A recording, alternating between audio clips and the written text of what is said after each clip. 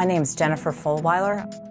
I was a lifelong atheist and I'm now a Christian. I write a blog called Conversion Diary. It's a chronicle of the ups and downs of what it's like to have faith after an entire life of being an atheist. I never believed in God, not even as a child. When my dad would come read books to me at night, I believe I was in fourth or fifth grade, and our nightly reading was Carl Sagan's Cosmos. so I was very much raised on a diet of science and reason and evidence based rational thought. You believe what you can prove. I believe that I have hands because I can see them. I believe in a black hole, even though I've never seen one, but you know, science can tell us about the way matter moves around it that we can observe. And so this very rational worldview always made sense to me on a fundamental level.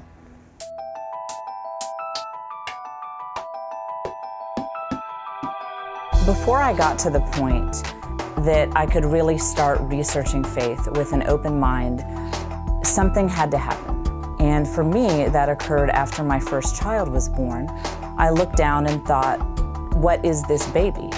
And I thought, well, from a pure atheist materialist perspective, he is a collection of randomly evolved chemical reactions.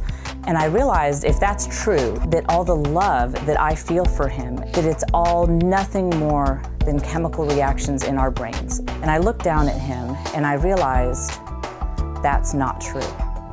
It's not the truth. I didn't know where to go from there, but that's what prompted me to start researching topics of spirituality. I got my books about Buddhism and you know and about every religion except for Christianity basically. I assumed that anything could be true except for Christianity. And my husband, who considered himself a non-practicing Christian, said you might want to start with the one major world religion whose founder claimed to be God. After all, that's a really easy claim to disprove if it's not true. And I thought, well, that's a fair point. I was such a through and through atheist that I have to admit I was ignorant of all these great Christian thinkers. What about Thomas Aquinas? what about Augustine? What about Descartes? I mean, all of these great thinkers throughout history were not only theists, but Christians. And I was really surprised when I actually found these very intellectually rigorous books where people talked about their faith from a place of reason and not a place of emotion. And when I looked at evidence like that on the whole, I started to think something explosive, something world changing happened in first century Palestine. You have this guy named Jesus who comes from a lower class region, gains a bunch of lower class followers, and ends up being executed by the Romans. And yet, in droves, you see thousands and thousands of Jews giving up these traditions that they had held dear for thousands of years. And the people who joined in on this new religion, there was no benefit for them. It was a persecuted religion. People who joined this religion didn't tend to work out too well. They tended to lose social status and often face death. But I wasn't yet you know, convinced and, and ready to become a Christian. And so I started a blog.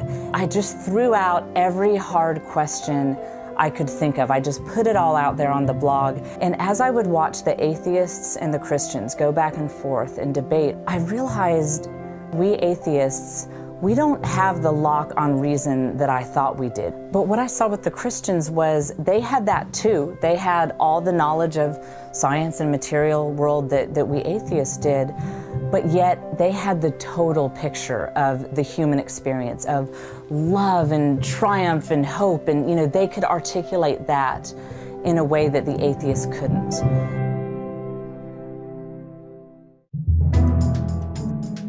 It wasn't until after I had made the intellectual decision to become a Christian that I think I finally believed it in my heart. When I set my pride aside and said, okay, I feel like I'm talking to myself, but Jesus, I want a relationship with you. I, I want to know you, even though I don't know how to go about doing that. This peace entered my life, this joy, the way my whole being was transformed there was just no question that this is somebody real. I think that not only am I more alive uh, now that I'm a Christian, but I'm so much more intellectually alive. Finally, nothing is off limits. I can ask questions about science, but I can also ask questions about the spiritual world, and I'm free to really seek the truth.